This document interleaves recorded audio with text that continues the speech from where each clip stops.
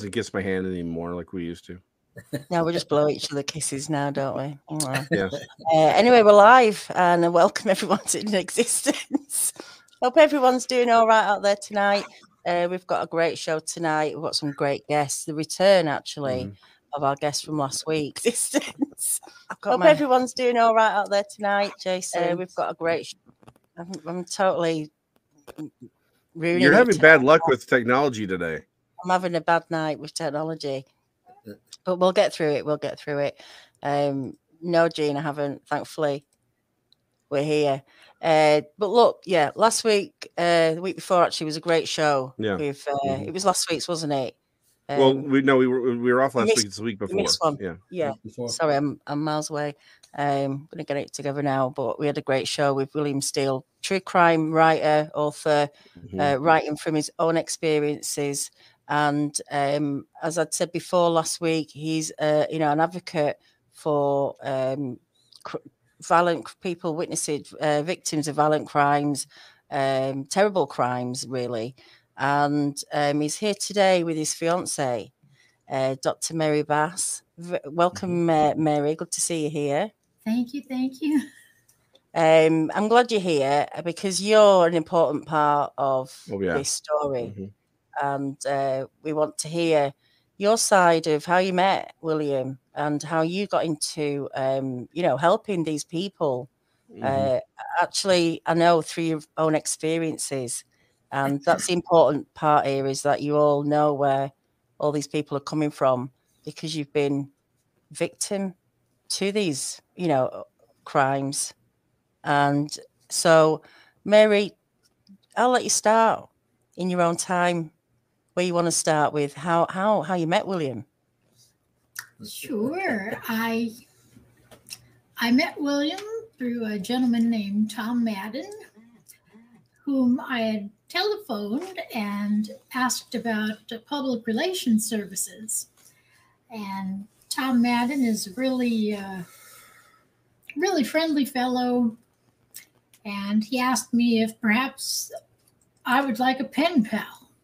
And I thought, well, fantastic, because I love writing letters. And fairly soon after that, he gave me William's information. But prior to giving me William's information, Smooth Tom Madden sent me an email where very indirectly he encouraged me to buy three books. The best sales email ever. Fantastic. I immediately went to Amazon, bought all three books. Didn't know really what any of them were going to be about. Um, my mom got them. She read them first. So she commandeered them and then she gave them over to me. And with William's first book about Robert Durst, Mhm. uh, my mom handed it to me and she said, You know, Mary, I have a feeling that you're going to really like the man that wrote this book and that you have some things in common with him. So, oh, that's pretty interesting. And so, sure enough, I, I read the book and I wrote William's letter and I explained how his bravery with telling these truths and what were supposed to be kept secrets from these very wealthy, powerful, and dangerous people, his bravery um, gave me a good dose of bravery, which I needed to come forward and tell the truth about um, some very dangerous and powerful people that have unfortunately ingratiated themselves into my life and into my family's life and have been victimizing us. So Mhm. William's book gave me a lot of strength and encouragement that I I ordinarily wouldn't have received. So I'm I'm very grateful and I like his second book as well very much. I don't want him to think that I'm playing favorites here. No, it's okay. Play favorites all you want. That's fine. So then William and I got to uh, talking on the phone, and at first I figured, you know, he he's a published author. He's uh, much more fancier than me. I'm just a lowly forensic accountant and data scientist, which I swear it's way more exciting than it seems. And I know that's a hard sell. I know. But um, right away, he was in touch with me and was very friendly and very genuine. He has had a very genuine concern for my mother and I and our circumstances that we had in California. And we are uh, beyond blessed and very grateful to have him in our lives. And so, of course, we we thank Tom Madden every time we call him. And uh, although his main business isn't matchmaking, I don't think it would hurt him to take up sort of a secondary career with that. Because so Give me, far, give me a so side hustle. Yes, exactly. Bottom, bottom line, uh, Tom Madden was the vice president of NBC in New York, and now he has a company in Boca Raton, uh, public relations transmedia group in, in uh, Boca Raton, Florida. He's a personal friend of mine, and she was looking for representation for an incarcerated client, Mhm. and Tom introduced us, and the rest is history. Now we're engaged. It's a year in, and I couldn't be happier. And I thank you guys for having us on during this Valentine's Day weekend. It's very appropriate to have a couple on, a newly engaged couple, by the way. Yeah. So thank you for that. Congratulations. Uh, Yeah. Oh, that's go. adorable. It was meant to be. It was meant to be. amen. Just for Um, clarification, though, because I, I I had did have the question the the similarities that y'all had uh that, that, you know when your mother handed you the book it was about you know adv- victim advocacy not not that you had spent time as an international jewel thief being catwoman or anything right No, I, I don't have any experience in uh, in jewel thievery. okay okay. Just checking. Uh, yeah, Yeah, no, that- no. you I would have told like, you if y'all have a lot in common. Like wait is it the victim advocacy or is she catwoman in a past life? Like rappelling down from you know That- with the whip and batman and all that you know. You never know. You gotta ask. You never know. That's right. that that was my line. If if uh, your audience knows from reading my books, I was uh, unfortunately in a previous life a pretty prolific jewel and art thief, and uh, millions of dollars stolen across the you know the across the country, and looking over my shoulder, and a lot of personal loss, incarceration. And after taking some college courses and getting into uh, uh, spiritual matters, I basically had a real change of heart and turned my life around. And and with her help and encouragement, you know, I'm writing books now and trying to put these stories out there advocating for victims, advocating for the victims of Robert Durst, um, victims of wrongful incarceration, victims of uh, Ghislaine Maxwell, victims of Prince Andrew, um, Mhm. and in whatever way that I can can do or expose them and my experiences with these various people. So Mary has been doing this before I met her, uh, helping a wrongfully incarcerated individual and other people that were wrongfully accused. She's worked with some high profile attorneys in California. And so that's what we have in common is that my change of heart led me to want to help people that are victims or wrongfully incarcerated. And she was already doing it before we met. So that's that's pretty much we hit it off. We're like meant to be or something. I don't know. We have our struggles like any other couple, but you know what? We're in love and we work through them. So Yeah.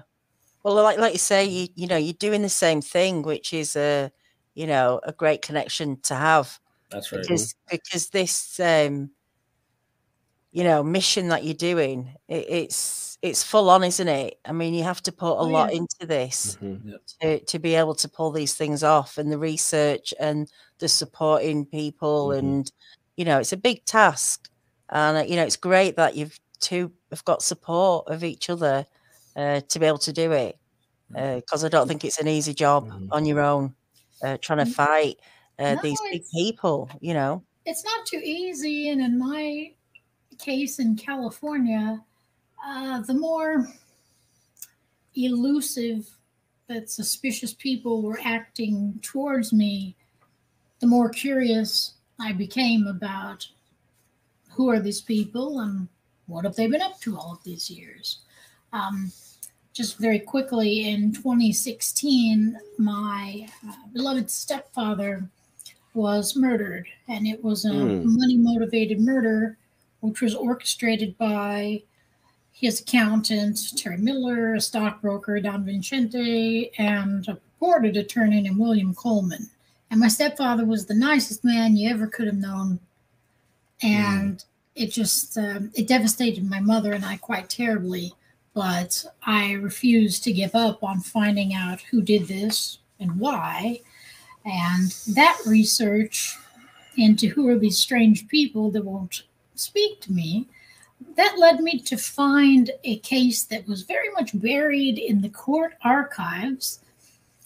And that's the case of David Michael Reinhardt, who is a victim of the same organized crime faction that murdered my stepfather. And oh, wow. unfortunately, uh, law enforcement was false pretense in 2003, and it resulted in David being uh, shot at for about 16 hours in his childhood family home, which the whole scene is very odd. It's this big mansion on the golf course, and uh, he was being retaliated against because he was trying to file a police report and follow all of the proper procedures and mm-hmm. protocols because his inheritance was being stolen. And so, unfortunately, that led to a wrongful conviction for David uh, for 56 years, and he served about 18 of that. And so, what I did when I found his case was I I noticed that he was missing some documentation that was available at the uh, the recorder's office. So it's free, it's public record. So I got as much as I could that I thought could help him, and I sent it to him with a letter apologizing that I, I don't know what else to do. I'm not an attorney. Um, as far as being a forensic accountant and a data scientist, when it comes down to things like tracking down assets or proving financial crimes, then I come in very handy. So I was delighted that he was really grateful to receive the information and that he was willing to share with me his knowledge about these people who uh, were much more dangerous than I could have conceived of, um, mm-hmm. and are quite a lot older than I am, and that he was helping as best as he could from being in prison to try and give my mother and I some advice on how to stay safe, um, whom we might be able to talk to to get help. And um, sometimes those things, you know, trying to get help, sometimes it falls on deaf ears. So mm-hmm. I think it was really a blessing that William entered our lives at the time that he did, because he certainly understands uh, about the law and whom we need to speak to to get help and these things that mm-hmm. uh, my mother and I aren't accustomed to. We haven't um, had to deal with uh, with this particular set of circumstances before, and from a very very dangerous town where it was really just she and I um, alone, and of course very afraid. So we're we're forever grateful to William and and to Tom Madden. Yes, I have to mention him again for facilitating. But bottom line, her client Dave Reinhardt was targeted by these same individuals and lost because of a fraudulent or a falsified altered trust agreement tens of millions of dollars as, meant, as much as 400 million dollars so he's sitting oh, in wow. he's sitting in prison right now in California. And we'd mm-hmm. ask people, uh, you know, people that are watching this, please reach out to him, David David Reinhardt, California Department of Corrections. Um, we could pr- probably provide you a link, but the website is freedavereinhardt.com. It has his contact information there, free Dave, Dave Reinhardt. And so we're working trying to get him uh, a forensic uh, uh, document examiner who's certified in California to help him with, with some of his, his legal issues the same people targeted Mary's mother, this mm-hmm. racket, and Fresno County um, was known very recently as being the, one of the most corrupt counties in the United States. Um, many of the probate people involved with these probate frauds and rackets were mm-hmm. arrested a few years ago, and now there's still a core. Uh, there's a core of them still mm-hmm. actively doing this. What they didn't realize when they, you know, apparently killed her stepfather, and she's got some evidence to this that who her mother was not alone. Her mother had Mary. And with mm-hmm. Mary's background investigating these frauds and being a member of different organizations, not law enforcement, they picked the wrong victim. When they picked Mary's mother to victimize, it might have been like a burglar going into a house of a sleeping SWAT detective who was, you know, had the day off. You know, he picked the wrong house. When they tried to, they already stole the house from her mother and they're trying to steal another, you know, several hundred thousand dollars. Mm-hmm they picked the wrong victim when they chose her mother because they didn't realize how proficient she is. So she was able to build a prosecutable RICO case against them. And they started retaliating with falsified accusations against her and all kinds of stuff which is still going on. So enter me. Yes, I know a little bit about the law. I was a law clerk. I'm not an attorney. Um, and this guy, Dave Reinhardt, was able to give her a real good history of these people that did this to her mm-hmm. mother because they did it to him. And then one after the other, we're finding more and more people this happened to. So it's not just the the let's say the the more civilian aspect of it. There is a there is a uh, an official on the county level. There are officials with legal authority who are who are aiding and abetting yes, the, these absolutely. crimes. It's not just you know individuals off the street. These are people who have. This is a this is a very well connected on the on the governmental level. Yes, and which is, which is what's allowing them to do this. Absolutely, and she has the documentation to prove it. She doesn't just talk and say, "I think, I think, I think." She has a documentation to back up every mm-hmm. word, last word she's been saying. Problem is, you can't get anybody out there to listen because they're all seemingly in bed with each other. So. But they're all quite upset that I have all of this documentation. All of it mm-hmm. was obtained legally. Um, mm. Usually, with white collar crimes, there will always be an extensive paper trail. And right. then, when people involved in those crimes start to get a little nervous that maybe they're being investigated, they try to conceal the crimes with even more paperwork, which makes yeah. it more obvious to me what they're up to. So, they, they, so one of the parties, we're not going to name at this moment unless she wants to, generated a fake order, fake email, which her service provider already verified long ago, and turned it over. The service provider that she didn't generate it, and they still tried to accuse her of generating it. I mean, it's just one thing after the other. Retaliation, guys with guns showing up at her house, mm-hmm. uh, uh, something from an insurance company, you know, life insurance. Somebody placed a life insurance policy on her uh, without uh, people- my knowledge. So I was glad that at least the life insurance company made me aware of that. Oh, know, there was a fraud going wow. on, but it's um, it's just it just goes on and on, and it's been it's been quite horrible. Um, it, it's a tricky matter because we didn't expect we would be targeted or that my stepfather would be targeted. Um, this wasn't any sort of a massive estate where I, I can't conceive of why all of these so called professional people would commit so much crime and take so much risk over a rather modest amount of money, except that they're never held accountable. And just like Dave. Reinhardt, mm-hmm. who tried for many years to get a police report filed in Fresno, I have tried for several years to no avail. Um, and they get uh, a little bit testy with me if I ask. But so, bottom line is, and we're you know in this venue and others, we're putting them on notice. The FBI is aware of what's going on. Other federal agencies are aware of what's going on. The Attorney General's office in California is aware of what's going on, and decent attorneys are aware of what's going on. They didn't like the fact that she met me, and I have a PR mm-hmm. firm that I work with that'll help me out to bring any attention onto any matter. They didn't like the fact that the second I was getting released from prison, I was offered a TV show on a major network, and we've already filmed 10 episodes. Mm-hmm. And this is going to be brought out as, on there as well. So I'm doing my part because it's the right thing to do, and I love her. But right is right, and it's what I do anyway. So, you know, we are a good fit. You know, we're able to help each mm-hmm. other. I came out clueless about technology. I couldn't figure any of this stuff out right here that we're doing today if it wasn't for Mary. But I could also read people, and I know how to work, you know, uh, in a in a straightforward, uh, direct, evidence based fashion with law enforcement to try to help her present the facts in a proper way to them to start taking things seriously that she's been complaining about. Um, so that's where we are with that. And bottom line, I helped them get out of California. We're in a, we're in a new location, which is near um, Chicago. So we're just outside Chicago. And I'm from New York City, as you know, you know where she's from. And then we met here and met one of the biggest swindlers in Midwest history, accused allegedly, Charles Ray Smith. he posed as my friend.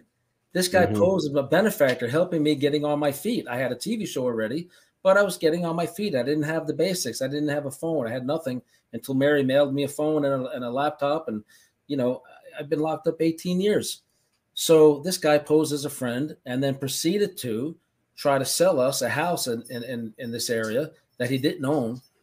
Tried to sell us, uh, she was diagnosed in California with uh, leukemia, tried to sell a fake cancer cure. I said, Mary, I'm starting to get suspicious about this guy, Charles Ray Smith. Can you please do your due diligence and see what he's all about? And she found he's already been litigated against successfully mm-hmm. and had tried the same thing with numerous other people. Fast forward, the FBI finally arrested this guy after decades of robbing allegedly millions of dollars. And he's now facing 130 years in prison for wire frauds. And virtually every victim has had death threats leveled against them, including mm-hmm. me, including her, including a celebrity, uh, which is going to come out in a few weeks. Um, he was planning to kill approximately nine people. His girlfriend, who turned his cell phone into the police, turned up mysteriously dead after saying, He's going to kill me for turning in this phone. Now, he's admitted to several of us that he did, in fact, murder her. He's not charged. I'm not saying he's guilty of it, but everything points to it. So this is what's going on now. And so Charles Ray Smith um, has been now linked by several of the victims to other murders. That's Charles Ray Smith. If you Google Charles Ray Smith, Elkhart, Indiana, he was an informant for um, numerous agencies. He was working undercover. Uh, making fake cases in some cases. I don't know if any of the cases were real, but we're finding people that he set up that have been entrapped by him. The case of Dr. Uh, Lesley Marlin Scholl, Dr. Scholl mm-hmm. is one of them. He just did 13 years, lost a million and a half dollars to this man. His gun collection, two, three hundred thousand dollar gun collection, due to entrapment. He said he was going to kill his wife. It turned out it wasn't true. They dropped all those charges but then for some tax stamp on a transfer of a, of a legal silencer that wasn't done correctly, mm-hmm. they gave him 15 years in prison. He did 13. He just got released. Mary and I are working with Dr. Scholl um, to try to get on his feet, rebuild his life, and set up a crowdfunding for him to get his medical license back. And she could explain a little bit more about about how this guy Charles Ray Smith entrapped these different people while he was working as an informant.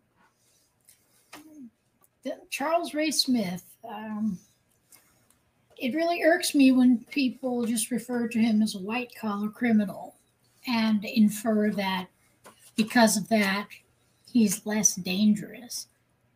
It's been my experience in my life, based on things that have happened to me and things that I've seen, mm-hmm. that a lot of so called white collar criminals are extraordinarily dangerous because they will do anything, go to any extremes to not be prosecuted for any crime. Um, oftentimes, if they work at a bank, for example, and they were to lose their job, well, then if they're part of financial racketeering, then they're sort of out of the gang because the first step in money laundering is placement. So you have to have the crook banker in place. Mm-hmm. You need a crook accountant, a couple crook lawyers, mm-hmm. maybe a judge on the side, some sort of a goon squad. And Charles Ray Smith, he does a lot of these things on his own, from what I can tell. But um, he is, I, I, just, I don't even know. Uh, I'm not a psychiatrist or anything, but he only cares about self preservation, clearly. He has zero remorse for anyone that he has scammed or had incarcerated, including Dr. Scholl, who did nothing except start requesting uh, that his money he had been defrauded out of be returned. Right. And Dr. Mm-hmm. Scholl has lost so much time. Um, Dr. Scholl has five children. I believe he told me that when he went to prison, his youngest son was six years old, and the oldest child, a daughter, was 15. And I don't know if they're aware that that this was a setup. And it just is it's it's horrible. It's it's it's heartbreaking and it's horrible and mm-hmm. It's very um it's devastating, isn't it? Your whole life has been taken from you. Everything, mm-hmm. your livelihood, your family, your home, and then you're in prison for 13 years for something that you haven't done. He went set, set up by this Charles Ray Hall Smith. Mm-hmm. Smith, sorry. He he deliberately entrapped him because the man was complaining. I'm going to go to authorities. You swindled me.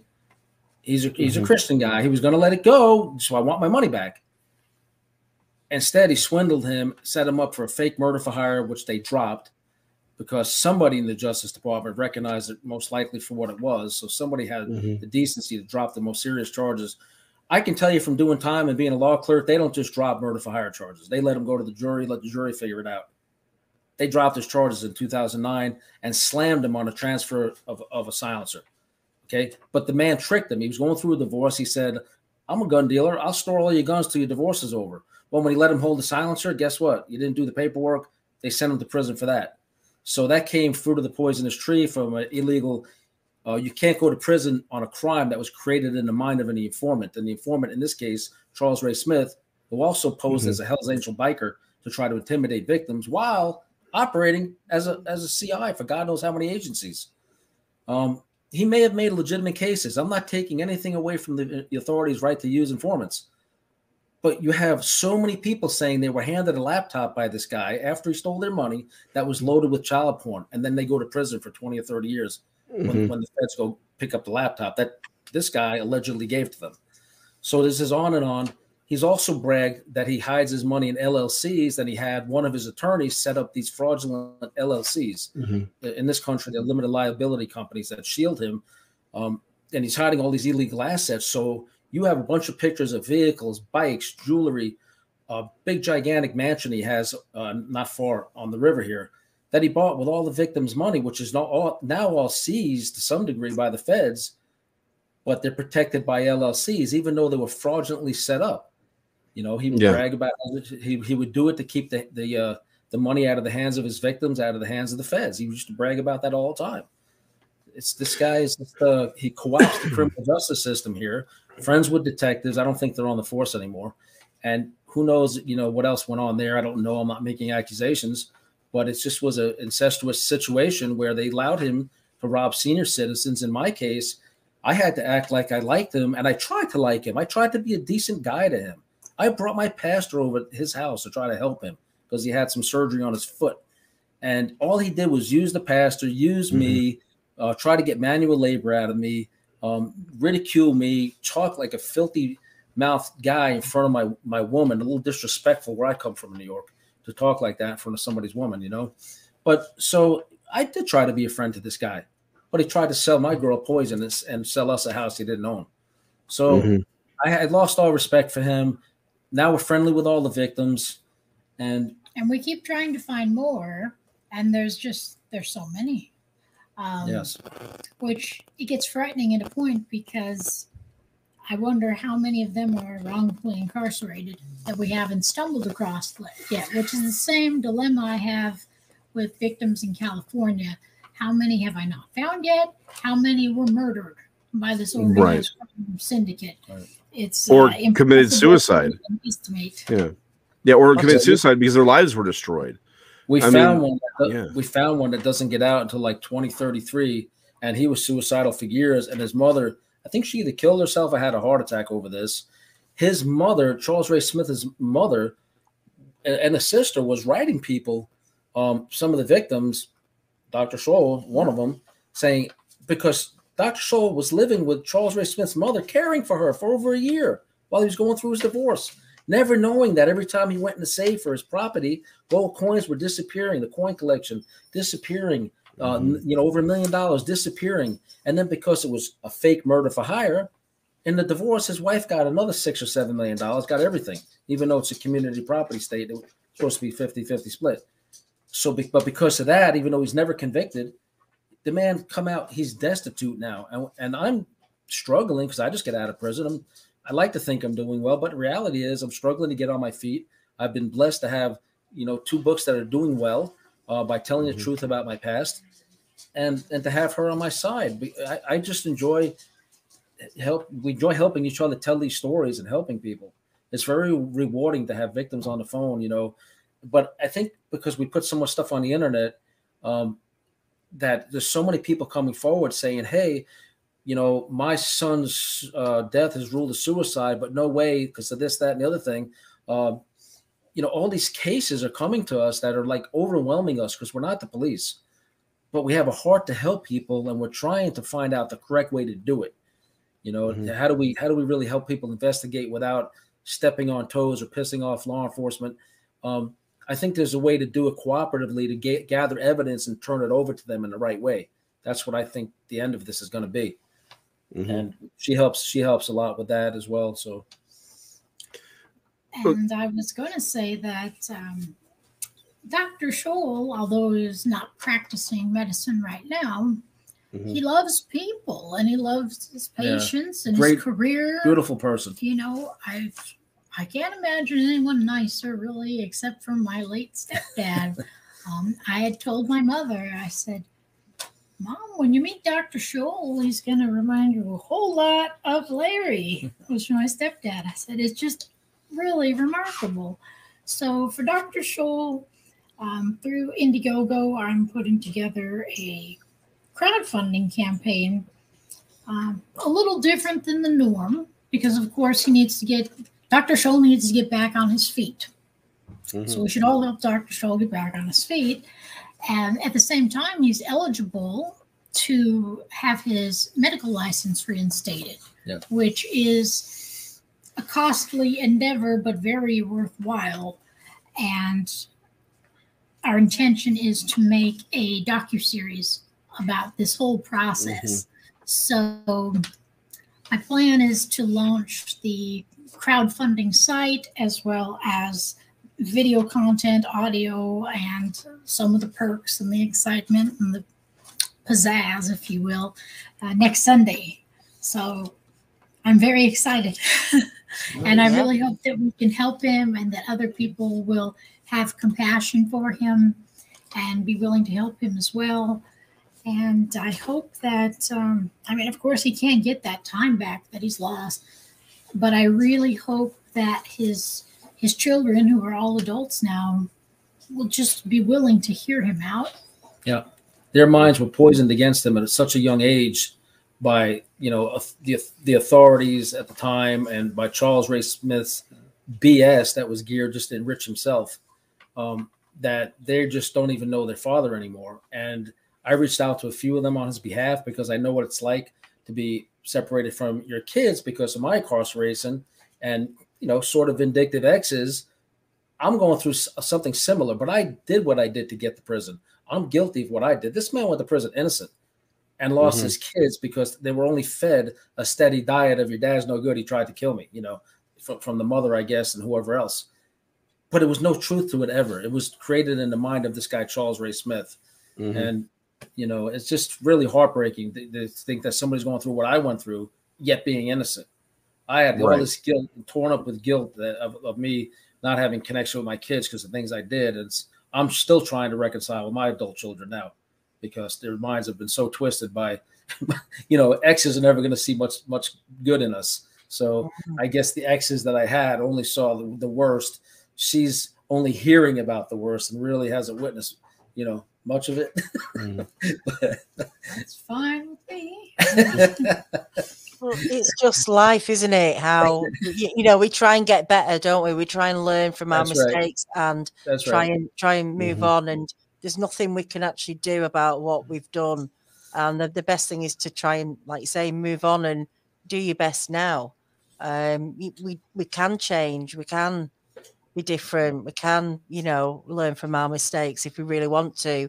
And you know, you are an example, great example of someone who's, you know, you. done a lot of time in prison. Uh, you know, hung out with the wrong people, into drugs. You know, the, the worst things we can think of. But actually, as well, you don't know about people's life and why they're in that situation. You know, and we judge too quick. And I know ultimately you, you were judged mm-hmm. and you mm-hmm. went to prison, but you know, just to the things that you did, but there's reasons why we get to these places, mm-hmm. and it's easy to sit there and judge people and go, "Well, you, mm-hmm. you're a thief and you can't, you know, learn from your mistakes." Actually, you, you're showing yourself to go mm-hmm. completely the opposite end and helping people now, which is, you know, an amazing thing to do because there's actually not a lot you personally get from. There's no gains, personal gains with this when you're mm. helping other people other than you know, hopefully feeling like you've done some good. But people don't realize actually there's there's more for the other people. You're doing it more for the other people than for yourselves. Yeah, mm-hmm. it's rewarding to be able to turn this around and help people. I've been invited already to speak at a couple of colleges, um, and I, I, took university courses when I was in prison, and I'm getting ready to take some people up on those uh, other book signings for my uh, Ghislaine Maxwell book that just came out, um, sensational and impure, and uh, so mm-hmm. things are going well. I mean, I'm just trying to figure it out, and without her uh, you know, unfortunately, you know, I do put some pressure on her, you know, because I have that New York let's go attitude, and you know, not everybody's on that that dynamic. Although she's super confident, it's uh, I need to start learning a lot. I can't keep putting everything on her, and I'm learning that. You know, we're learning to mm-hmm. uh, that we all have our strong suits. So, but I would never get through the technology or the mm-hmm. the confusion of this new world and how to avoid catfish, even simple things like that. Because various people, I had a guy pose as Brad Pitt and you know, you know, asked me for money to call him, and I'm like, wait a minute, why why do you need my money to call you? And then my New York, uh, you know, mentality came out. I said, okay, I'm going to turn the tables on him. I said, oops, I accidentally sent you 10 grand. She said you got it. He's like, who's she? I didn't get it. Where did you send it? and then I eventually said, I just sent you another 20 grand. Did you get that? You know, and so many scams. But like you say, you've been inside so long, you're not aware of the current yeah. stuff that goes on. You know, technology, like you say, mm-hmm. phones. I'm pretty sure you've seen, you've come out to see technology completely. Oh my god! Before, forward. Before, if you talk to your remote control, you were crazy. Now, if you don't talk to it, you're crazy. I don't yeah. do anything without talking to my remote control first. well, when you went in, you had like what a one of those Nokia's that you know lasted for 150 years, and now now you come out with smartphones. Right. Never saw a smartphone. Yeah. I was only on the internet once. That, yeah. When I escaped yeah. from prison, they put me on America's Most Wanted uh, website, and it was no big deal. But that's where they put me because of my history of stealing expensive things. So I, I was first time I was on the internet. I was at a mall. I was at a kiosk. I wanted to look up the status of my escape, and my wanted poster was staring back at me. I didn't know what I was doing. So in all these years, that's the first and only time I've been on the internet until I just was released about 11 months ago. So this is a whole new world to me, and so it's uh it's been a challenge. If it's okay, I'd like to point out um, that William has been helping people even prior to his release, mm-hmm. even though in I would say certain ways he was penalized for doing so and for telling the truth. Um, for example, he knew of a, a young man who had, uh, was wrongfully convicted and a false confession was elicited, yeah. and uh, William did all he could to make sure that uh, that young man was set free, and he was. And these are not easy endeavors to take on by any means. I think the risk is greater if you are incarcerated and you're trying mm-hmm. to attempt this. I face a lot of risk mm-hmm. and backlash in the free world and a lot of, uh, I would just say, uh, uh, safety problems. Um, uh, an attempted kidnapping at gunpoint that was the most memorable one that stood out um, in broad daylight at the grocery store up the street from my house in California. And after that, I just sort of stayed in the house. And uh, I mean, uh, like I say to my mom, I say, we're experts with uh, quarantining because we've been doing this for years uh, out of out of safety necessity. Mm-hmm. So, but um, but Bill is very inspirational. So I'm very grateful to know him and to learn as much as I can from him.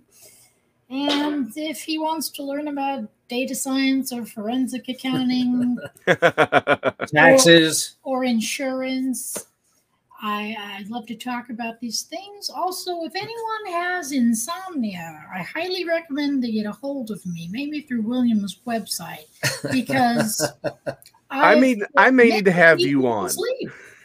I may need to have you on. I'm actually, I'm in, uh, I'm an escrow officer for a title company in my day job. So like, everyone's like, forensic accountant, was that? I'm like, this is gonna be awesome. let's talk. Let's talk insurance. Um, but I'm not gonna. I won't bore our our uh, Daniela's poor. She was saying her voice is so relaxing, like without even trying, it like literally puts people to sleep. It So does. she's always teasing me. She said, "I don't know how you're gonna like my voice. I have an ambient voice." the human ambient. She'll talk Hey. about taxes or nonprofit investigations. It's Like, always the nonprofits, the IRS Yes. 990 EZ forms. You can all laugh at me now, oh, but I'm telling you, that is where the scandal is. she's an expert Oh. at investigating financial and tax crimes. Yes. Oh, expert. d- don't even get me started on nonprofits. Don't get me started on that. I'm I I'm, won't get you I'm right started, there with you, sister. All I want to get you riled up now. Yeah, no, absolutely. But- So, but something that I think Daniela's audience would be more interested in. There seemed I'm noticing a pattern in the stories that you're telling, right? Which is there does seem to be an undercurrent of corruption in law enforcement at the. I- I'm I'm playing this down versus what I want to actually say, um, but it does seem like law enforcement is intimately involved in all of these people who are who are going to prison uh, oh, we just lost Daniela again. Okay. well, howdy. Welcome to Jason. Welcome to uh, Jason McLean's hidden existence. Uh, it's been it's been fun, Daniela. Uh, no, she'll be back. Her unfortunately, her internet it gets wobbly. She's in you know overseas in Britain. Um, but it does seem like there's definitely a a a, a commonality of uh, of corruption in law enforcement it, it, for a lot of these things to go through. Am I hearing this correctly? Is that is that does that seem to be popping up a lot more often than it should? I want, want to say this real quick. I have friends and family in law enforcement, including federal law enforcement. So I will not say they're all bad. I even, as an ex felon, belong to law enforcement supporters groups. Oh, of course, yeah. Some of them don't accept me. It's the bad apples that do these things, that get the false confessions or beat the hell out of people, that make it look bad for all of them. And the poor guys have a bad, hard enough job to do. You know, right? No, absolutely, absolutely. But it also seems like it's not it. just well, it's not just the FBI or DEA or or local. It sounds like this is going all the way up to judges. It's prosecutors. They all seem to have to have a hand in this. Again, not everyone. I I know. I've I again conversation for off air. I happen to have known some people who are again they're friends of mine. They're high up in certain law enforcement agencies. Mm-hmm. I understand what you're saying. It's definitely not anyone, everyone that's but right. that being said, the more you get into it, the more it's like it looks like there really should have been a lot of steps along the way where law enforcement and that goes up to the judiciary and prosecution should have been able to step in and go, hold up, this there's something wrong here. And they didn't, and they didn't because they knew what was going on and either turned a blind eye or are profiting from it some way.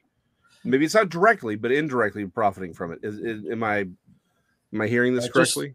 just like the making of murder a case uh, brendan dassey and uh, avery um, dassey his confession was he was a young 16 year old and uh, not all there uh, educationally I, low iq and Yeah. every Mhm. fact he gave during his confession was fed to him by the detectives Right. courts have overturned this and on a higher court would just leave the, the kid in prison knowing Mhm. he did nothing wrong they leave him there so whoever did this is still free whoever raped and Mhm. murdered their, the victim of this case in her case this corrupt law enforcement involved because they've been out to the house off duty roided up with guns in their hand banging on her thing going to her house tampering with her video cameras Mhm. you know, while trying to talk to her about, you know, generic things related to the probate court. Why Mhm. are you even touching? That's illegal for an, an officer to, a detective to touch her uh, surveillance cameras without a warrant. Um, Mhm. and that's per the FBI. You know, they're, they're not allowed to touch them. So They keep showing up with guns off duty. Mhm. Um, I really think trying to trick us to open the front door, which, yeah, that wasn't going to happen. no, I'm not Yeah. going to try and make it any easier. Um, but I, I definitely don't think that all of law enforcement as a whole are in cahoots. Oh, of course not. Yeah. like. I have met some very nice law enforcement professionals in my Mhm. lifetime. I have also met some that uh, treated me very badly. But even in Mhm. those circumstances, I never was bitter towards all of law enforcement because I just figured it's impossible that, you know, everyone is in on it, so to speak. And Right. you know, different areas have different situations with with bribery and judicial Right. corruption and how it trickles down. And a lot of that um, uh, methods of finding indirect proof of financial crimes, I kid you not, they're in the IRS 990 EZ forms. Mhm. And so, really, a lot of these uh, folks are telling on themselves by filing those with the IRS. They're Oh, public records. They just don't like that I know what they're talking about in those records. So, Well, Right. eh, well, most people don't even. Yeah, I mean that's the thing. Particularly with, with the news media that we have, they're not going to look at. They don't. They don't. They most people just don't understand how a lot of this stuff happens. Particularly when you when you talk about nonprofits. Most the I, okay, I won't say most. I will simply say many, many. But particularly if there's a celebrity involved, all those nonprofits are complete. They're just they're they're frauds. It's all fraudulent. I mean, just straight up. And that's not you saying it. I'm just going to say if there's a celebrity involved, it's a fraud. But but yes, nonprofits are, are one of the easiest places for uh, for a lot of this stuff to go down because people don't look at them, and it is boring to to your point. A lot of people aren't going to be like, "Wow, forensic auditing," you know. It, it's it's not really a movie people are going to watch. nothing gets my blood boiling more than if they didn't file them on time. That's the first clue that things are afoot because they're Mhm. really easy to file. And then I see who's on the board of directors, this and that. And there's so many that are just used as money laundering Oh, vehicles absolutely. sorts. You Well, know, that and insurance. Yeah. Nonprofits Where- and insurance are the two ways money is moved off book, and that is on the criminal level and that is on the governmental level. We- I'll, we leave, I'll leave it there because I ain't going. I about I ain't about to show up dead somewhere. We're personally don't blame you, aware. Jason. hmm She said she believes you. I, Oh, yes, I'm- I don't blame you. Oh, I used to work for a company called ISO Verisk. Beyond that, I won't say anything else. Uh huh. We're we're good. personally aware of an organized crime group where the, the leader of this group in a section of California has nonprofits, and what he's doing is raising money and then to launder money, and Mhm. then giving part of it right back to the police for body cams and you know he bulletproof says vests. it's and- body cameras, but it's really the kickbacks. Yeah, that's Yeah. what it Don't- Don't, don't name them on there. but yeah, it's just it's it's crazy. In fact, one of the things that uh, she's digging into with uh, Robert Durst and uh, inappropriate money being funneled, uh, let's just say in the direction of California before and during his trial. Also with Ghislaine Maxwell, a lot of impropriety with nonprofits. So that's going to Oh, be yeah. coming out soon. And whatever she turns up with, um, not only are we going to turn it over to the Southern District of New York, the prosecutors, uh, it'll be in an upcoming book. so Interesting. Um, So it's just follow the money. And I'm way more interested in the nonprofits than people's yes. personal taxes. They think I'm looking for their personal taxes. No, no, no, no. That's cut and Yeah. dried. I want to see those nonprofit taxes. I'm telling you, there's a lot of hot gossip and scandal there. One day, somehow, someone will believe me, even though I know taxes only become exciting and scandalous during election time. And even Right. those aren't real tax scandals, but I digress. I better stop because Bill's going to fall asleep. Well, so, so I'm gonna have to have you on because like this is the kind of stuff I do like to talk about. 'Cause, again, I'm a nerd that way. I'm right there with you. Most. Oh, Daniela's back. Sorry Hi about that. Hi, everything okay? It's Yeah. just- no, we we were talking about taxes. It was wonderful. Oh right. Oh, that's interesting. I'm sorry I missed that. But yeah, no, to your no, to her point, uh, yeah, most of most of the tax scandals that the news media goes after aren't actually tax scandals. It's the fact they don't understand taxes. The real, Basically, and- yes. which goes back to my point. The reason they don't go after a lot of these nonprofits and the insurance stuff is because it's so complicated to explain.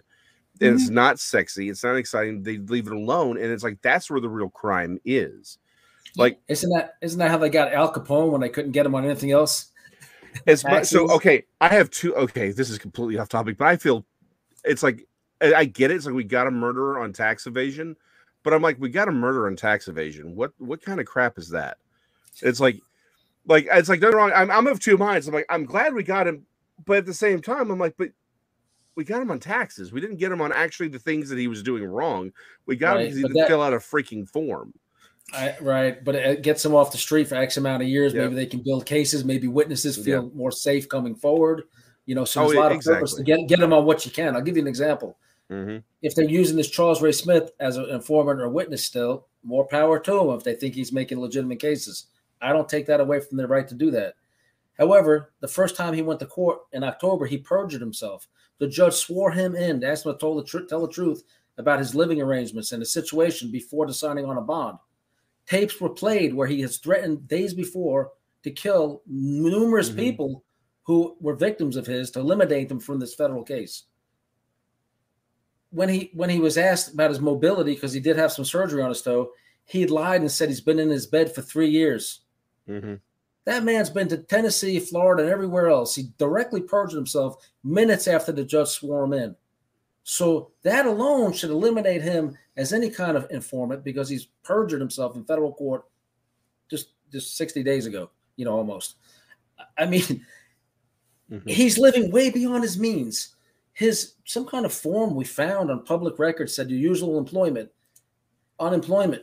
It's- Yeah. It was. Uh, it he's was- living in, in, in you know beautiful mansions in the town he lives in driving vipers and Vettes and sports cars from the 50s and 1920s and a warehouse full of harley davidsons that's one of his uh, touring Oh cars wow. that's one of his bikes out of many there's probably 30 or 40 of them um, that's more of his bikes at one of his bar locations in elkhart indiana um, that's one of his bikes. He claims that's a skeleton of his best friend in the background there. That looks more like a medical specimen, but Oh, God bless him if it's a guy.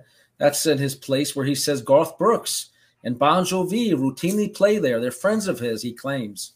Um, you I'm telling you, Bon Jovi's name has gotten drugged through the mud so much from this Charles Ray Smith. that's part of uh, Charles Ray Smith's arsenal. Those are Barretts. Those are powerful enough to take down airliners. Those are machine guns that he sleeps right within reach of his bed. He goes outside with four or five guns on him at all times. They supposedly seized all these uh, as a condition to let him out on an ankle monitor. And then he, tr- he tricked the judge to get out of that, saying he needs a surgery. And now they put him on a voice monitor. Now he's trying to cl- claim that uh, they wake him up too much with the voice monitor. He wants to get rid of that too right after he's threatened to kill everybody connected to this case, he wants all these devices. That's him showing off his some of his stolen jewelry. Um, I don't know who that watch belongs to. We have one that Dr. Scholl identified as being his Rolex. Um, he's showing off his jewelry, sending pictures. He sent me a picture of his dead ex on her kitchen floor, Trina McCreary, um, who's he's suspected of murdering. We don't know. Allegedly, he did it. He says he did it though. He's told people and he did it. Um, as a warning to me and others, if you ever talk to the feds about me, you're dead. You know, I'll bury you where you stand. Not just me. He's said it to several people. Um, so this guy's living way beyond his means. They should charge him with tax crimes. They should charge him, in my opinion, with perjuring himself in federal court. The judge had mercy on him. God bless the judge. The prosecutor heard the tapes. He said, "Look, I would normally agree to a bond on a on a wire fraud case. It's a white collar crime, but all these death threats, we can't ignore them. I'm asking for detention, Your Honor." Fantastic prosecutor, fantastic FBI agent on the case Mhm. and and the, and his his side said, well, he just boasts a lot. He's this, he's that. Yes, that's what con artists do. They boast a lot, you know. But you're letting a man go on a signature and a GPS monitor into a community that's oblivious to who he is. They're oblivious, and, and some some of them, Mhm. you know, there's there's young people running in and out of that house at all times. I'm not going to go into a lot of other things he's suspected of, but and and he's just there living there. They took his guns. Is so many people want a piece of this guy, and he's just living there waiting for his case to unfold, while the victims are like, "Why is he even out?" mhm. Mary Yeah. did a fantastic interview on ABC. I think you have a picture in the studio of of us. That's uh, Mary and I with uh, with one of the journalists there. Um, you'll see him. That's uh, Tim Spears, Emmy award winning journalist at ABC, where she did an interview. I think you have the link for your your watchers if they want to click in. But Yeah. she did a she did an interview on ABC News and a bunch of other media outlets are about to cover it. Uh, about my Ghislaine Maxwell book. We have an interview tomorrow. We're going to bring up uh, Dr. Scholl and what happened with this case here. That's your book there, the Ghislaine That's book. my most current book. It's uh, available on Amazon. It's uh, Ghislaine Maxwell, sensational and impure. It's at my uh, my story of my unfortunate relationship with Ghislaine Maxwell years ago in the Palm Beach uh, in the Palm Beach mansion, Palm Mm. Beach, Florida. Um, And uh, and this one that was out before that, Uh, that one I just serial that- killer. Yeah. That's right. That one was about my uh, acquaintanceship with Robert Durst. He was the wealthiest serial killer in American history. Everybody said I'll be sued if I publish it. I published it. Everything I said in there, he eventually admitted to in court. He just died of COVID in prison in California. Mm. Um, I ask you guys to please keep Kathy Durst and her Mhm. family, uh, the McCormacks, in your, your your thoughts and prayers because they never got justice. Uh, Jeanine Pirro, when so many of these people didn't prosecute him when they had the chance years ago. Come to find out, somebody's donating a lot of money to campaigns and try to Mhm. allegedly prevent a prosecution. You know, so he, he's he's worth a hundred million dollars. He's sitting. He was sitting in jail, and now he died in custody after he was convicted. And unfortunately, California law, even though he was convicted, while the appeal process was pending, if you die, you're you're completely exonerated. So now in death, he's exonerated. Yeah. So I know there's, there's a lot of litigation about to unfold because the people who have enabled Robert Durst for so long um, need to really take care of the victims' surviving family members, including the McCormacks, because it's not fair what happened to them all these years, 40 years fighting for justice. So, It's terrible, for it isn't the it? right way Yeah. through the courts with attorneys, not you know doing anything improper. And Yeah, it's just, uh, gosh, it's just so awful. it, it is. It really She's is. very yeah. sensitive. I, I love her. She's so sensitive, and she has such a heart for people. And despite my facade growing up in New York and Brooklyn, I really do as well. And I hate to see people suffering. And I wish there was more of us to go around because now that we're really coming forward with this more and more constantly, I, I'm getting banned from from Facebook at times. So like momentarily Yeah. for posting too much. I don't know the difference from mm. spam to like just hey, I'm I'm here, talk to me, I'll answer your questions. I don't. I'm learning things you can't do. It's nothing inappropriate, but I'm kind of repetitive in, in what I'm putting out there that I want to help people. I want to spread the word about Mhm. what we're doing. Um, to your point, real quick, Jason, if I could, about Yeah. corrupt cops. There was a case I assisted when it, it was uh, Tim Brown out, out of uh, Fort Lauderdale, Florida. Black guy. He Mhm. was about, I think, 15 or 16 years old, mentally challenged, low IQ, was riding a bike with his friend, two, three in the morning. Somebody else went to a Circle K and a cop was re- writing a police report. A deputy Behan, his name was, and executed that guy. That basically got his attention. He turned, he shot him in the face, kills the cop. He gets away. When they put the perimeter up, they arrest these two young black guys. And guess what they did? They held they held them for however long, a day or so, and beat coerced confessions out of both of them, gave them life sentences for murdering Deputy Behan. They were innocent the whole Hmm. time. That's one of the cases I testify for the defense because I found out who the real killer was. ATF did a sting operation on the real killer. And he admitted on the outside that he did it. He was a detention deputy, Mhm. allegedly killed him, but he admits on the ATF under undercover investigation Right. Yeah. Yeah. that he did it because you know they, they couch it like we need a drug courier, courier, we need a hitman, and he oh yeah, I'm the guy that killed Behan, blah blah blah. So he's confessed to people that he did it. To this day, he's not charged. But I went to federal court. I told my side. ATF testified about what their case was all about. The judge uh, sent him back for a new trial, and they had no evidence at that point because the confession was Yeah. beaten out of him. They let Tim Brown go free. Thank God innocent guy helped him get out of prison. He was wrongfully incarcerated for life, but after 18 years, he went free. Mhm. Another case, uh, a guy was getting framed. I did the same thing. I found out about the guy framing him. Um, so you know, I, it's not that I just want to see people like Charles Ray Smith held accountable. It's that when I see something wrong in the system or broken, I try the right way to rectify it. The officers in that case, the Tim Brown case, if you look it up, they had beaten falsified confessions out of mentally challenged blacks for a very long time, including a singleton or singletary, forget his name, charged with rapes and murders of black prostitutes all through Fort Lauderdale. Mhm. Um, and in this case, I may may be confusing the cases because there were several of them. Guy was on death row, gets exonerated, but the real killer continued doing it. So they were even Right. putting the wrong people in prison while the real serial killer continued. even though they well and this goes back to the sort of the, the question i asked earlier like I said it's not even about like everyone's familiar i think with the idea of the corrupt cop but it's the other corruption it's the it's the prosecutors it's the judges it's it's not just you know some corrupt cop isn't just out there doing things there's a whole line of people who have to be involved Mm-hmm. and understand what's happening to do this i mean that's That's the You- real issue here, isn't it? You would think the checks and balances would work, but many times they don't. They just don't work. It seems in Dr. Scholl's case, to some degree, they did because they hit him with murder for hire against his wife and his, his divorce Mhm. attorney. After his arrest, as part of his plea, they dropped those and then just a tax thing on the silencer. But nobody drops those serious charges unless they recognize we screwed up. Listen to this informant hmm you can't go to prison on a crime that was created in the mind of the informant. He can't commit. He can't create Right. the crime and have you go in his mind and have you go commit it Mhm. and then turn you in. But how entrapment. many? But how many people like Dr. Scholl or didn't have a as either attorneys as good as Dr. Scholl or had access to the resources of Dr. Scholl that got that got Oh. railroaded the same way that Dr. Scholl was going to be real. His his attorneys, according to him, were part of the problem. Mhm. Didn't listen Mhm. to him. Didn't do a thing he said to help him get exonerated completely early on. Nothing. In fact, once he was screaming about the corruption and the and the fake informant that locked him up and set him up like this after he stole a million and a half dollars from him, after he screamed about that, they put him in the hole in the jail with no communication. The man nearly had a nervous breakdown until he agreed to take a plea. As soon as he take a plea, then they let him out. He Mhm. posed no threat. He's a gentle giant. This guy. He's a very sweet.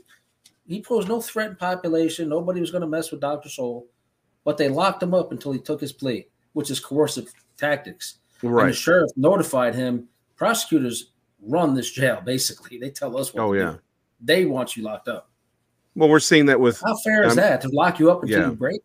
You know. Yeah. well that's the that's that's torture i mean that is actual legally that is considered torture and then Yeah. we're seeing that and i'm, I'm going to be very vague here we're seeing that with a certain other group of, of individuals uh, from you know, who've been locked and isolated for a year for something as simple as trespassing you know i mean we're seeing this kind these kinds of tactics in a lot of places in a lot of ways and it's one of those things where it just shows that there's a broader corruption again it seems like the FBI can pull up anyone they want at any time to find an awful lot of people. Yet there's an awful lot of thing people who for whom they've committed really heinous crimes, like Durst, like Epstein, like many others, and yet they they're completely oblivious to all of it. Right. You The know, money. I mean, Money, Yeah. money, man, money, money says it all. The money, Um, yeah, I was going to say, you know, the, the amount of money that's going around to, to keep all this Mhm. going Mary, just Mary, you know, doesn't talk about it much, but she does want to share something today, right? Yes, it's, it's okay with you. It's fine with me. Okay. I just feel, you know, whatever you feel comfortable putting out there. She had an own experience with wrongful incarceration. Yes. Um, this was started in 2008 while I was living in uh, Silicon Valley. And it wasn't a secret that certain segments of local level law enforcement in that area would target people whom were either quote unquote foreigners or who they thought had, let's say, an un American look or foreign look and mhm. shake them down for money and property because a lot of people uh, are afraid to complain against the police uh, for fear that things will get worse. Well, I may have a certain look about me, maybe I don't. Um, my dad was from New York, and my mom is a blonde lady from Canada. But I look how I look, and Jason, that's how I roll. Okay. so uh, this started in 2008, and um, I was attacked by many police officers and held at gunpoint for nine hours. They had a pre-typed confession they wanted me to sign, um, Literally. uh, filled with very bad intel, which makes me a little wary of people who say they work in the intelligence community. Cause That's a whole other conversation we're going to have to have offline because I'm not even, good. Um, Their intel in this matter were uh, two men who were brothers who had uh, prison priors. They were on parole, they were active gang members, and they wanted to shake me down for money, and I said no. So they were married to the sheriff's daughter. So they understood a little bit about how the system works and how they can work the system. Then they're in the district attorney's office. Oh, that Mary, watch out for her. She's nothing but trouble. She's dangerous. And, spoiler alert, she's not from California. she's from Iran. Oh, Now, She's got dual citizenship. She's American and Canadian citizen. yeah. So that's Well, how we've I, already established on, on the previous show that Canada doesn't actually exist. You know, it's it's it's a it's a it's a mythological place. So I'm already skeptical of you now, lady. Let's just. Well, that's uh, why you can't find uh, Bigfoot because that's where he's been hiding. So you better get with the program. Yeah. but Mhm. I'm uh, I'm Mhm. I'm certainly from California. Um, I even asked my mom a few more times just to really, you know, sort out the Yeah. situation. Mhm. But um, I didn't sign the confession. Instead, I wrote in uh, my own handwriting that uh, these people who will not identify themselves, who may or may not be law enforcement, um, are asking me to sign a confession to things that I don't understand. What I do understand is that at the time I worked in commercial property inspections and uh, yeah, I was not involved in anything exciting, which is sort of the story of my life, and I like it that way. But nevertheless, um, they took quite a lot of money from my home. They didn't have a search Hmm. warrant, arrest warrant, nothing. Uh, I did file an, a complaint with Internal Affairs. My friend's husband was a, I'll say, a proper policeman who encouraged me to do things the right way. He said I'd probably get retaliation, but if someone didn't come forward, then even more people would get victimized. So I did the right thing, and uh, the retaliation was quite severe. And I was held for about three years with no charges. I did have a private attorney. let, let, let me let me say this real quick if I can. She ended up after this was over. They stole her money, tried to get a fake confession and all that, uh, terrorized her. Uh, she went to Canada because she's dual citizenship. They came after her. What was it? Several months later in Canada, Yeah, they um, lied to the people up there, making out her out to be. they uh, these local detectives from Northern California, you know, it's not the FBI or anyone. I mean, they're local detectives. They duped the RCMP, encouraged them to establish a task force, which sounds like that costs a lot of money and takes time and manpower.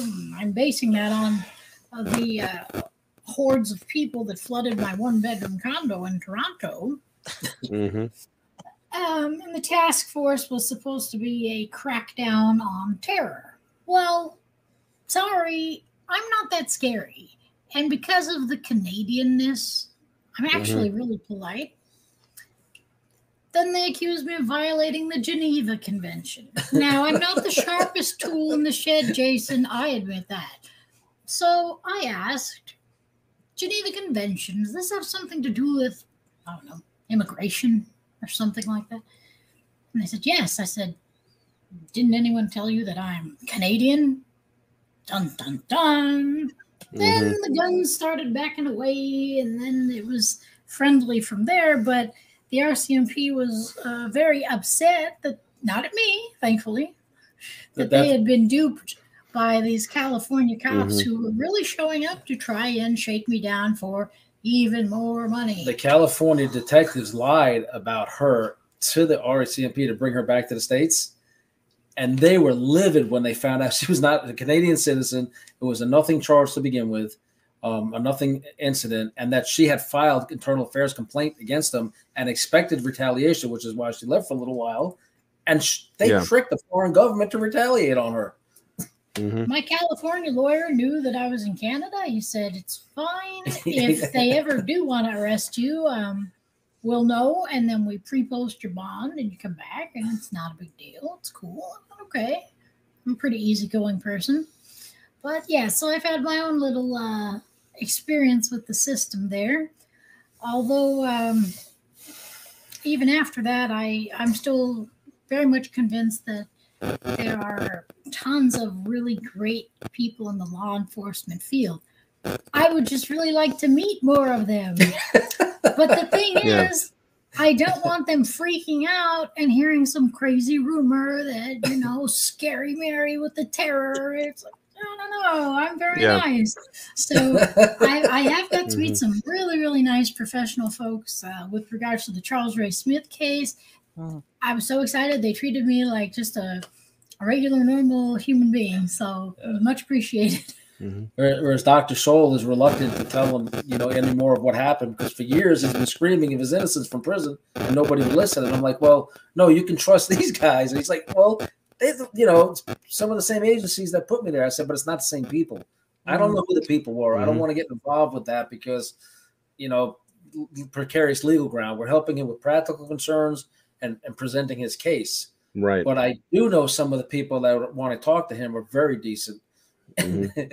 but he's, you know, has reluctance because of his experience, as does Mary. She's she's scared, you know. Yeah. I I mean, have more of a fear of, of local police, particularly in California, uh, especially after finding out that uh, there were so many people involved with trying to murder my friend and client and fellow victim David Michael Reinhardt while he was unarmed in his family home. So Mhm. I would, yeah, I prefer not to get shot to death by the cops. and I understand they can get false pretense into bad situations by Mm. being given bad information. I don't think they have a personal Yeah. vendetta against Well, me. I don't see No, they would. exactly. Well, well, so so this actually literally just happened to Tim Pool like within the last couple weeks. He got swatted twice. For those who don't That's know what what they call it, swatting is, swatted, right? Yeah. yeah, it's where they call in to the police and say there's a dangerous situation at this place. The police show up, they are uh-huh. ready for a dangerous confrontation.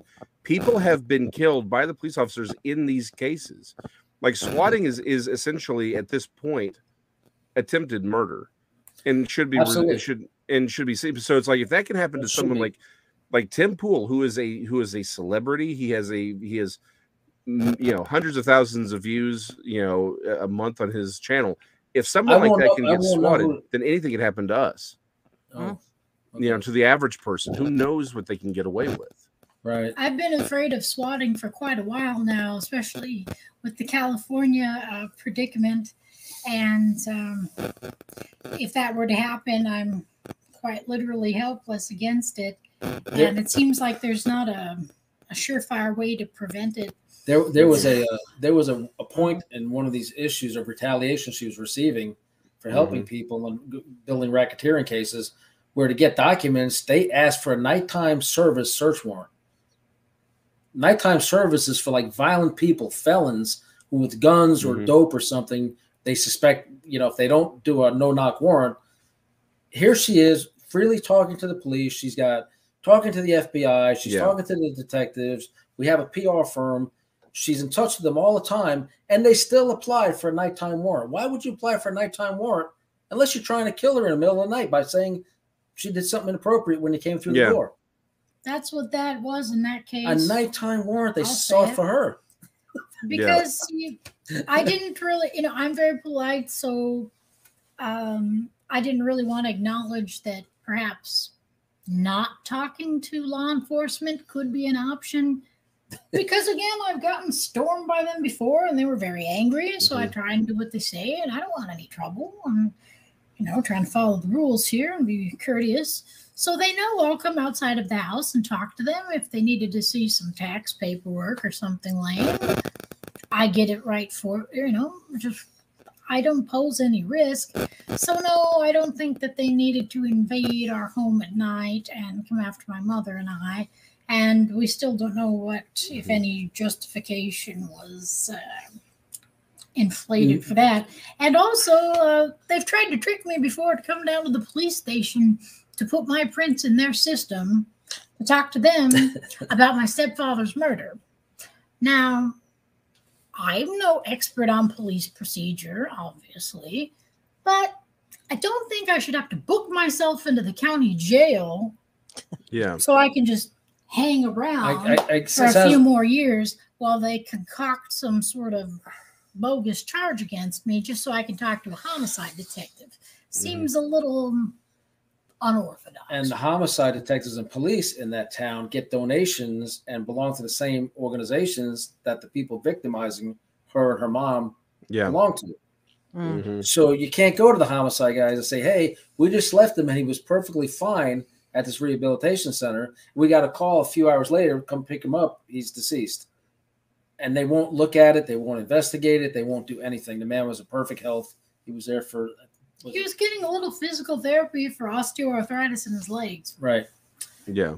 And uh, because of his assets evaporating immediately after, you know, um, you don't really have to be a, a professional detective to start to wonder was it a money motivated murder? The stock, Right. uh, the, the financial planner, they used to call them stockbrokers at Stifel in Fresno. He Mhm. was told by her stepfather, put her name, her mother's name on this paperwork, do this, that, and the other thing. They were tricked to move their account there by evidently a corrupt accountant.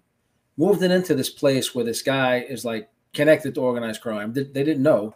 Mhm. And then when the money wasn't, they moved one share of Harley Davidson stock instead of like the other seven hundred thousand dollars of stock into this other account that Larry, her stepfather, directed him to. Yeah, he just wanted everything in a joint account with my mom, his wife. The second he Pretty started complaining ask. about it, you know, he Yeah. turns up deceased. So, and That's the money's Yeah. been tied up ever since. Yeah. What's So, really sad- white collar people are quite dangerous. So let's uh, keep Mm. an extra close eye on them and on this Weasley Mm-hmm. uh, Charles Ray Smith as well. Definitely. and you know, to keep an eye on the people that are Yeah. victim to this because it's the effects, isn't it? And like Mhm. now you just don't know who to trust. You know, you should Yeah. be able to go to your local authority. You should be able to turn to a policeman. But when you've been stung like that, I mean, and you lose faith, uh, you know, and trust in all those places that you should be able to go to, and nobody wants to listen. People would rather listen to the BS about stuff than actually these things that people don't want to face. To, to know that actually your your nice policeman down the road is taking money from you know people to keep stuff quiet. It, it's going on, and the only way you can Mhm. uh, highlight it is to keep talking about it and spreading the awareness. And I know it's a, a dangerous position, a little bit different to Bigfoot. That again is like another taboo subject, isn't it? It's But that's why we're so grateful for your hidden existence because trying to bring this stuff out is like a hidden existence. yeah, Getting Yeah. people to pay attention. Not only is it Mhm. real, but you have the documentation to prove it. exactly. And, the- and the And it's, and it's very widespread, um, which a lot of people don't realize. And a friend of mine is sort of in a way to pay it forward after his family was victimized terribly. He started a website called stopprobatefraud.com. So they work as an anonymous grassroots collective helping people that have been victimized by the probate and estate courts or that are under uh, conservatorships or guardianships when they don't Oh, need to yeah. be. Oh, that stuff's insane. Yeah. Mhm. It's another scam a lot of times. Yep. Mhm. Well, we're going to keep trying to spread the word with you, you. know, and for you, and um, hopefully, I think we can. We might get to speak to to David Scholes if he's willing to um, come on and share his story. Uh, I know that's a biggie for him because he's, you know, I get Mhm. how he's. I don't care, but I can imagine how he's feeling that he's just not going to trust anybody at all. Dr. Well- Scholes, yes. Thank you for that. I, I, we certainly appreciate that. We've taken a real interest in trying to help him get on his feet and tell his story his way. Um, yeah, absolutely. Tomorrow, I do want to share with you guys. Tomorrow, I have an international media outlet flying out from New York to interview me about my Oh, Ghislaine Maxwell book Cool. and about my story. Um, I can't officially say the source. I think you guys probably caught on the other day who it might Yeah. be. Yeah. We won't say anything. I'll be Yeah. in the National Enquirer. I'll be I'm supposed to be in the National Enquirer on, on this story on Wednesday, possibly front page. Um, I don't know. I might get bumped off the front page for somebody's hair extensions. I heard, but Oh, that was a rumor. But Yep. and then I think the next day it's going to explode in the media worldwide. This other interview. yeah. I don't think people quite realize how big uh, your experiences are, your story Mhm. is. Um, you know, the the Maxwell thing, the dirt, all all of it. You're like in the center of where everything's been happening. Yeah. um, with a lot of things. But actually, this is a really big story that's coming out, and your book's really important and, and putting out the truth about things that were going on. There will be links in the description. There's a link to Mary's uh, interview on it was ABC. Um, not ABC. Sorry, the other.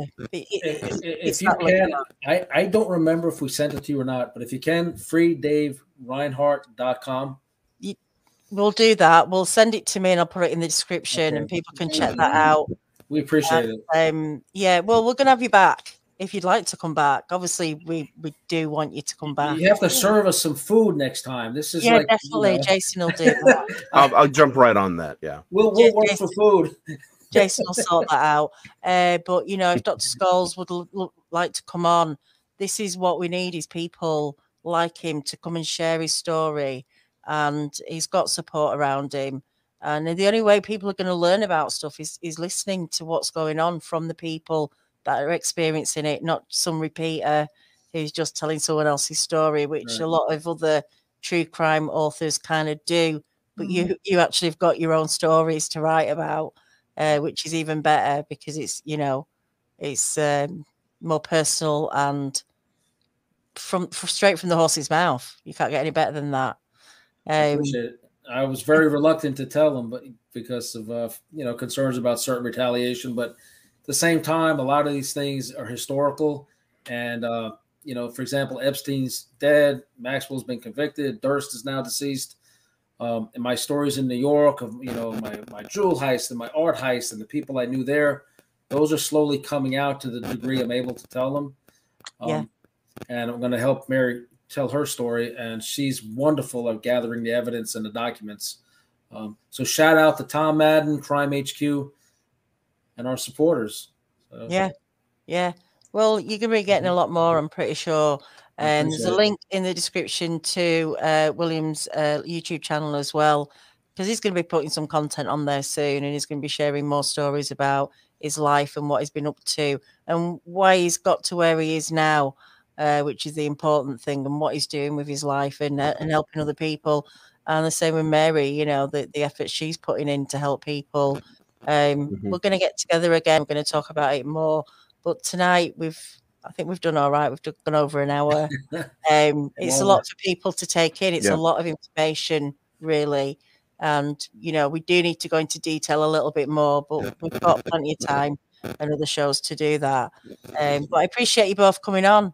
Thank you so much. Thank Yeah. you for your thank you. patience. I was too excited and I probably talked too much. I'm very sorry. And Jason, I'm sorry. No, no, No, no, no. Trust me, I, we gotta have you on just so we can talk about like all the all the boring tax stuff. I would Oh, love yeah. to talk about insu- insurance and and pro. Trust me, probate fraud, conservatorship. Like we're like we're gonna have that conversation. Like everyone's gonna fall asleep during it, but I'm gonna I'm gonna have the time of my life. No, there's there's a target audience for this, and I know right where they are. They kind of lay low because that's risky business too to be involved in investigating Mhm. those things. Oh, But, absolutely. Yeah. I just want to sign off with a happy Valentine's Day to everybody and to my beautiful fiance. Yes, happy Valentine's. Day, everybody. Um, Valentine's weekend. It is the 14th here for me in the UK. So happy Valentine's to me. Um, Happy I'm sure I'm going to get loads of cards and cake and chocolates. There's got to be some Wow. candy somewhere. I'm going to search. I'll probably have whole to go to the supermarket for it myself, but hey, you know, I want to I want to say hello too to Hazel, a supporter in South Africa, and Yeah. Kerry in London. Kerry, yeah, shout out to Keza That's right. London. Gary Greenberg, my co-author on the first book there. Gary, everybody who's, been- who's That's been a right. part of it. Um, all right, guys, uh, thanks for joining us tonight. Thanks, Jason. Thank you, Thank you so much. Mary William, everybody We'll um, catch up with you Tuesday. Uh, find me on Bigfoot Odyssey. Fred in Alaska is coming on for Larry to draw the Bigfoot that he saw, and I think it's going to be pretty scary. All right, guys. Until then, good night. Thank Good Good you. night. Thank